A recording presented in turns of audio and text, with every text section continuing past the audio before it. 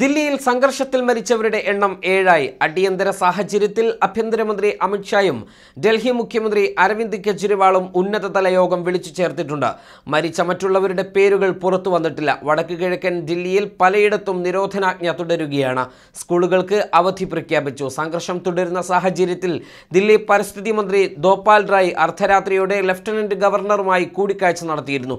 സംഘർഷത്തിനിടെ മൗജ്പൂരിൽ വീടുകൾക്കും വാഹനങ്ങൾക്കും പ്രതിഷേധക്കാർ തീയിട്ടു. പത്തിടങ്ങളിൽ നിരോധനാജ്ഞ പ്രഖ്യാപിച്ചിട്ടുമുണ്ട്. നിരവധി വീടുകളും വ്യാപാര സ്ഥാപനങ്ങളും ആക്രമിക്കപ്പെട്ടുവെന്നാണ് റിപ്പോർട്ട്. ന്യൂനപക്ഷങ്ങളുടെ വീടുകളും സ്ഥാപനങ്ങളും തിരഞ്ഞുപിടിച്ചാണ് ആക്രമണം ഉണ്ടായിരിക്കുന്നത്. അതേസമയം ഡൽഹിയിലെ ഇപ്പോഴത്തെ കലാപങ്ങളുടെ കാരണക്കാരൻ ബി ജെ പി നേതാവ് കപിൽ മിശ്രയാണെന്ന ആരോപണവും ശക്തമാവുകയാണ്. കപിൽ മിശ്രയ്ക്കെതിരെ ജാമ്യ കോർഡിനേഷൻ കമ്മിറ്റി പോലീസിൽ പരാതി നൽകിയിട്ടുണ്ട്. മിശ്രയെ ഉടൻ അറസ്റ്റ് ചെയ്യണമെന്നാണ് പരാതിയിൽ ഇവർ ആവശ്യപ്പെട്ടിരിക്കുന്നത്. ഞായറാഴ്ച മൗജിപ്പൂരിൽ കപിൽ മിശ്ര നടത്തിയ പ്രകോപനപരമായ പ്രസംഗത്തിന് പിന്നാലെയാണ് സംഘർഷമുണ്ടായത്. പൗരത്വ നിയമ ഭേദഗതിക്കെതിരായ സമരക്കാർക്ക് ട്രംപ് മടങ്ങിപ്പോകും വരെ സമയം നൽകുന്നുവെന്നും അത് കഴിഞ്ഞാൽ ഞങ്ങൾ കൈകാര്യം ചെയ്യും എന്നുമായിരുന്നു ആ പ്രസംഗം.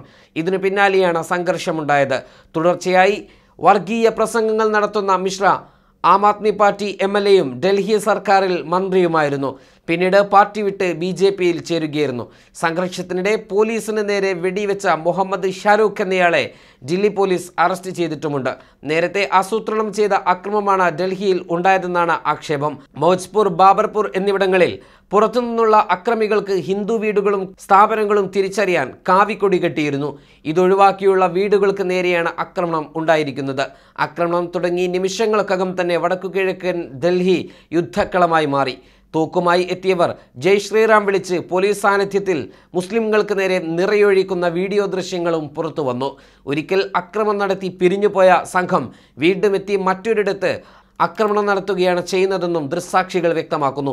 എന്നാൽ സംഘർഷത്തിനിടയിലും ജാഫറാബാദിൽ സ്ത്രീകളുടെ സമരവും തുടരുകയാണ്. ശനിയാഴ്ച രാത്രിയാണ് ഇവിടെ സമരം ആരംഭിച്ചത്. അഞ്ഞൂറോളം സ്ത്രീകൾ തുടങ്ങിയ സമരം പിറ്റേ ദിവസമായപ്പോഴേക്കും വലിയ സമരമായി മാറി. പോലീസ് ഇവരുമായി ചർച്ച നടത്തിയെങ്കിലും നിയമം പിൻവലിക്കും വരെ പിന്മാറില്ലെന്ന് സമരക്കാർ പ്രഖ്യാപിച്ചിട്ടുണ്ട്. ജാഫറാബാദ് മെട്രോ സ്റ്റേഷന്റെ താഴെ റോഡ് ഉപരോധിച്ചാണ് സമരം നടക്കുന്നത്.